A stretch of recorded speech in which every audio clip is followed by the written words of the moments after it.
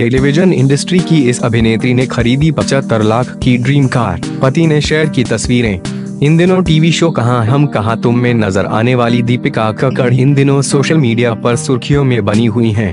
आपको बता दें, अभिनेत्री दीपिका के घर एक नया मेहमान आया है दरअसल, दीपिका और उनके पति शोएब ने मिलकर एक कार खरीदी है जिसकी तस्वीरें उन्होंने सोशल मीडिया पर शेयर की हैं। इन तस्वीरों को देख ऐसा लग रहा है जैसे अभिनेत्री दीपिका की खुशी इन दिनों सातवें आसमान पर है।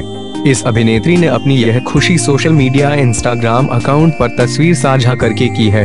इन तस्वीरों में आप देख सकते हैं यह अभिनेत्री कितनी खुश नज़र आ रही हैं।